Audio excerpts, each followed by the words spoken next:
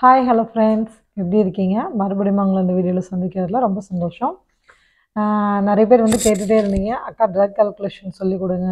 அதுக்கப்புறமாட்டிக்கு வந்து ப்ரமோட்ரிக் எக்ஸாமுக்கு வந்து கொஞ்சம் கொஸ்டின் ரிவைஸும் கூட நீங்கள் வந்து பண்ணி கொடுங்க அப்படின்னு சொல்லிட்டு. ஸோ என்னுடைய லீவ் கிடைக்கிற டேஸில் வந்து உங்களுக்காக வந்து என்னால் முடிஞ்ச ஒரு பத்து கொஸ்டின்ஸாவது நான் வந்து உங்களுக்கு வந்து சொல்லிக் கொடுக்குறேன்.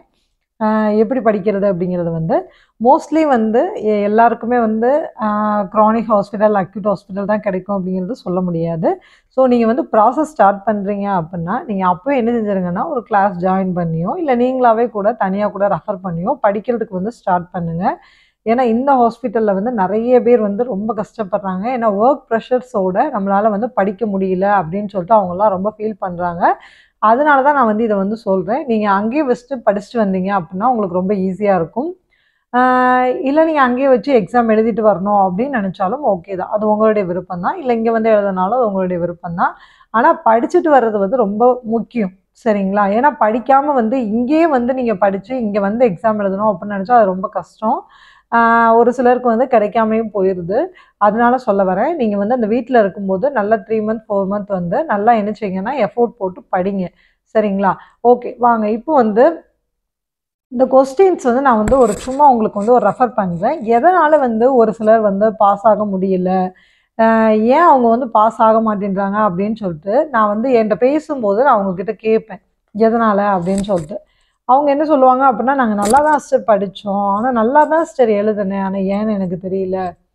சம்டைம்ஸ் வந்து அவங்க வந்து ஆன்சர்ஸ் வந்து கரெக்ட் பண்ணுறது வந்து எப்படி கரெக்டாக சூஸ் பண்ணுறாங்க அப்படிங்கிறதுல தான் இருக்குது நம்ம ஆல்ரெடி ஒரு வீடியோவில் வந்து சொல்லியிருந்தோம். நீங்கள் வந்து கரெக்டான ஆன்சர்ஸ் வந்து ஃபஸ்ட்டு நீங்கள் சூஸ் பண்ண முடியாது. ஃபஸ்ட்டு வந்து உங்களுக்கு தப்பாக தோன்ற ஆன்சரை வந்து ஃபஸ்ட்டு நீங்கள் எலிமினேட் பண்ணிடுங்க அதுக்கப்புறமாட்டிக்கு கரெக்டாக இருக்கிற ஆன்சரை வந்து ஈஸியாக உங்களால் வந்து கண்டுபிடிக்க முடியும். சரி ஓகே நான் இப்போ வந்து ஓரலாக ஒரு கொஸ்டின் வந்து உங்ககிட்ட கேட்குறேன் அந்த கொஸ்டினுக்கு வந்து நீங்கள் தான் வந்து என்ன செய்யணும் அப்படின்னா கமெண்ட் செக்ஷனில் கமெண்ட் பண்ணணும் நான் ஆன்சர் சொல்ல மாட்டேன். கொஸ்டின் மட்டுமே உங்களுக்கு நான் வந்து சொல்கிறேன் சரிங்களா? பேஷண்ட்டுக்கு வந்து துறக்காட்டமே பண்ணியிருக்காங்க. சரிங்களா? லெஃப்ட் சைட் துறக்காட்டமே பேஷண்ட்டுக்கு பண்ணியிருக்காங்க. போஸ்ட் ஆஃப் பேஷண்ட்டை நீங்கள் வந்து ரிசீவ் பண்ணுறீங்க துறக்காட்டமே பண்ணி பேஷண்ட்டை நீங்கள் வந்து ரிசீவ் பண்ணுறீங்க பேஷண்ட்டுக்கு ட்ரெயின் இருக்குது சரிங்களா? பேஷண்ட்டுக்கு ட்ரெயின் இருக்குது இதே கொஸ்டின் வந்து ரெண்டு விதமாக வந்து கேட்டிருந்தாங்க. அந்த ரெண்டு விதத்துலேயும் நான் வந்து உங்களுக்கு வந்து கேட்குறேன். இப்போ இந்த பேஷண்ட்டை வந்து இப்போ நீங்கள் ரிசீவ் பண்ணிட்டீங்க. ரிசீவ் பண்ணிட்டு நீங்கள் என்னென்ன பண்ணுவீங்க? அப்படின்னு சொல்லிட்டு கேட்குறாங்க. மொதல் கேள்வி வந்து ரிசீவ் பண்ணிவிட்டு நீங்கள் என்னென்ன பண்ணுவீங்க? துறக்காட்ட பேஷண்ட் பேஷண்ட்டுக்கு ட்ரெயின் இருக்குது என்னென்ன பண்ணுவீங்க? என்னென்ன பார்ப்பீங்க? இதுதான் ஒரு கொஸ்டினாக எழுதியிருந்தாங்கன்னா கேட்டிருந்தாங்க. நாலு ஆன்சர் வந்து கொடுத்துருந்தாங்க. இன்ஃபார்ம்டாக ஃபிசிஷியன்னு ஒன்று கொடுத்துருந்தாங்க. செக் த வைட்டல் சைன்ஸ்னு ஒன்று கொடுத்துருந்தாங்க. பேஷண்ட்டுக்கு வந்து பொசிஷன் சொல்லிட்டு ஒன்று கொடுத்துருந்தாங்க. செக்யூர்னு சொல்லிட்டு ஒன்று கொடுத்துருந்தாங்க. Secure the tubes everything ஆ? இப்போ நீங்கள் வந்து முதல்ல வந்து எதுக்கு நீங்கள் ப்ரிஃபர் கொடுப்பீங்க இதில் வந்து? அதுதான் இதோட ஆன்சர் சரிங்களா? பேஷண்ட்டுக்கு வைட்டல்ஸ் பார்ப்பீங்களா பேஷண்ட்டுக்கு பொசிஷன் கொடுப்பீங்களா? பேஷண்ட்டோட ஐவி லைன்ஸ் எல்லாமே ஃபஸ்ட்டு செக்யூர் பண்ணுவீங்களா? நம்ம செக்யூர் பண்ணும்போதே நீங்கள் வந்து பார்த்துருவீங்க ப்ளீடிங் இருக்கா அது இருக்கா இது இருக்கான்னு எல்லாமே பார்ப்பீங்க இனிமேல் வந்து. அது அதுக்கப்புறம் பார்த்தீங்க அப்படின்னா பேஷண்ட்டுக்கு வந்து டாக்டர்கிட்ட இன்ஃபார்ம் பண்ணுவீங்களா? நாங்கள் பேஷண்ட் ரிசீவ் பண்ணுறோம் அப்படிங்கிறத முதல்ல நீங்கள் என்ன பண்ணுவீங்க? அப்படிங்கிறதா அந்த கேள்வி. சரிங்களா? இது ஒரு கேள்வி. இந்த கொஸ்டினுக்கும் நீங்கள் தான் ஆன்சர் பண்ணணும். கமெண்ட் செக்ஷனில் ஓகே இப்போ ரெண்டாவது கேள்வி என்னங்கிறத நான் சொல்லிடுறேன். இதே தொராகாடவை பேஷண்ட்டை நீங்கள் ரிசீவ் பண்ணுறீங்க பேஷண்ட்டுக்கு ட்ரெயின் இருக்குது பேஷண்ட்டுக்கு கத்திட்டரும் கூட இருக்குது இதில் வந்து.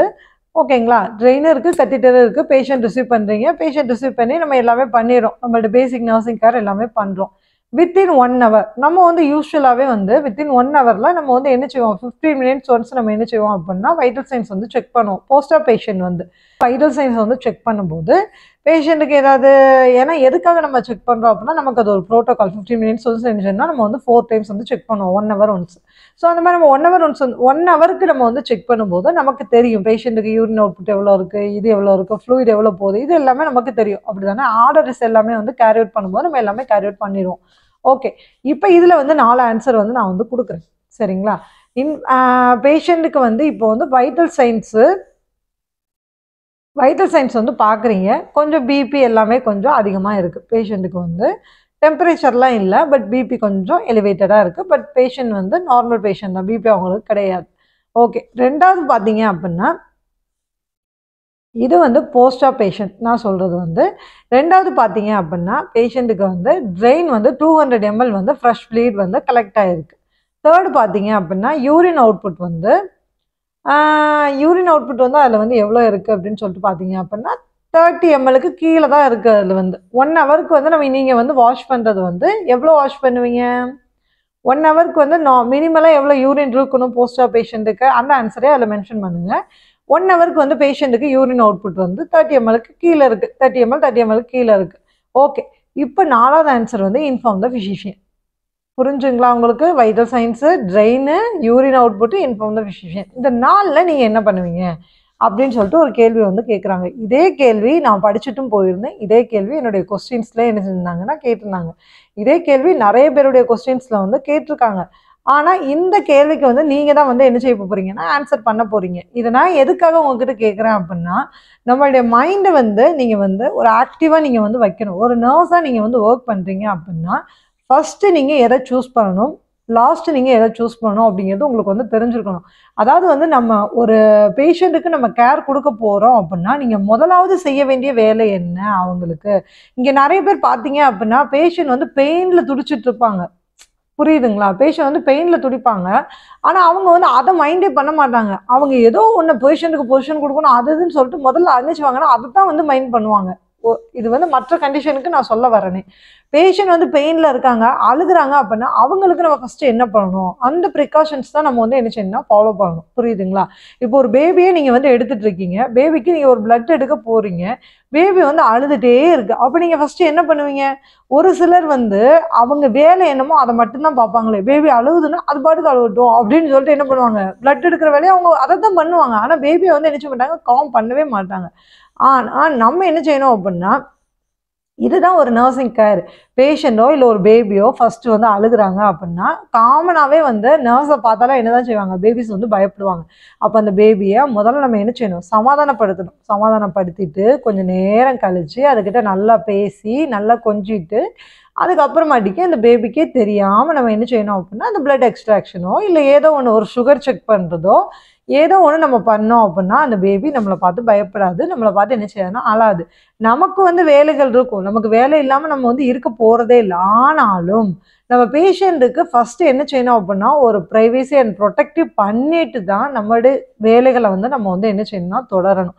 இந்த கொஸ்டின்ஸ் வைஸ் பார்த்தீங்க அப்படின்னா அங்கேயும் இதே மாதிரி தான் கேள்விகள் இருக்கும். நீங்கள் வந்து மோஸ்ட்லி வந்து இந்த மாதிரி ஒர்க் பண்ணியிருந்தீங்க அப்படின்னா ரொம்ப ஈஸியாக உங்களால் இந்த கேள்விகளுக்கு எல்லாத்துக்குமே பதில் அளிக்க முடியும். சரிங்களா?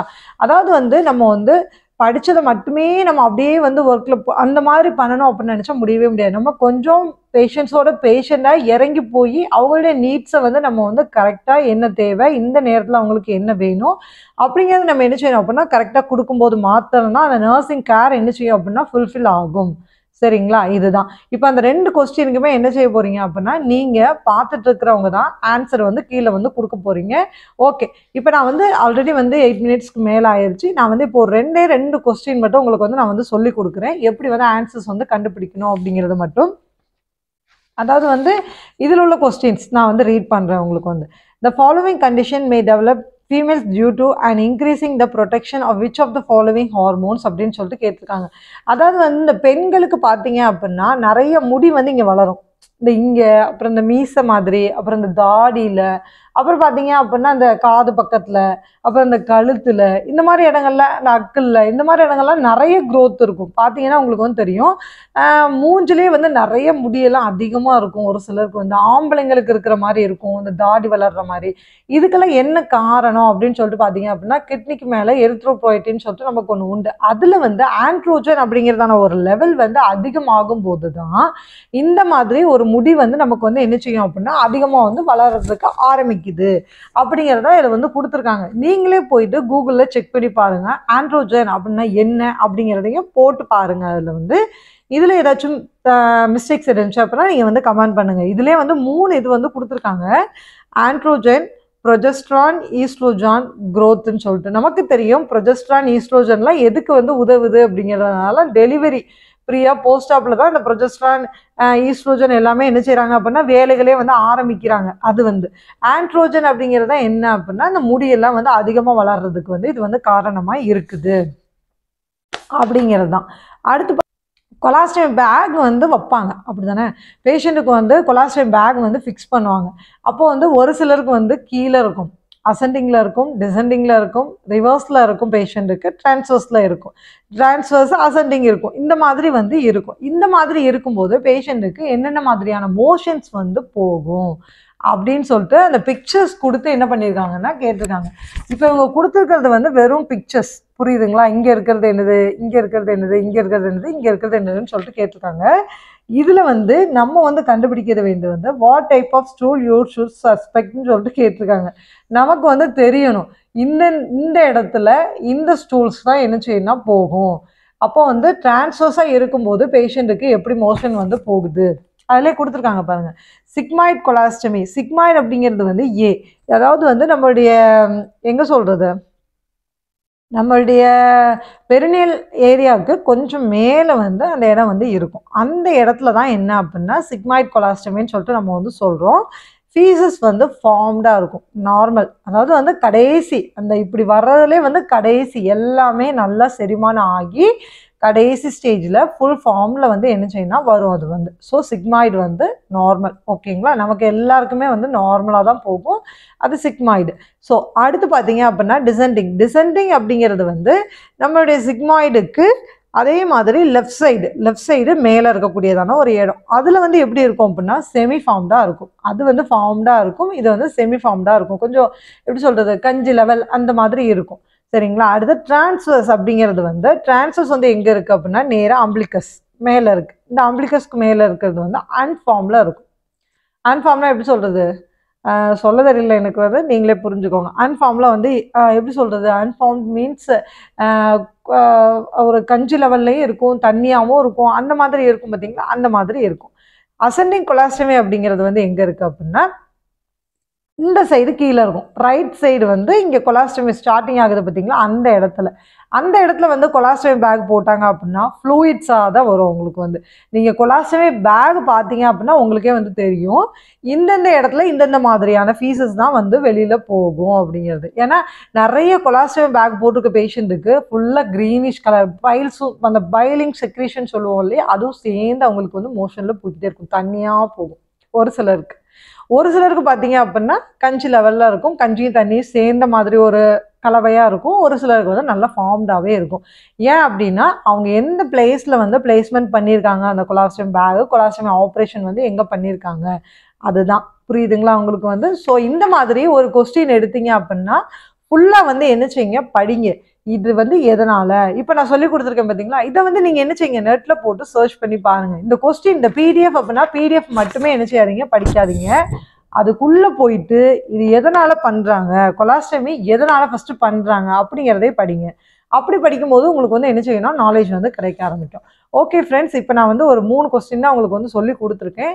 நான் வந்து இன்னொரு நாள் உங்களுக்கு வேற ஒரு ஐந்து கொஸ்டின்ஸோடு நான் வந்து உங்களை வந்து சந்திக்கிறேன். ஓகே இப்போதைக்கு வந்து இந்த வீடியோவில் வந்து நான் வந்து விடைபெறுகிறேன். நம்ம கேட்ட ரெண்டு கேள்விகளுக்கும் சரியான விடையை வந்து நீங்கள் வந்து ஆன்சர் பண்ணுங்கள் கமெண்ட் செக்ஷனில் வந்து.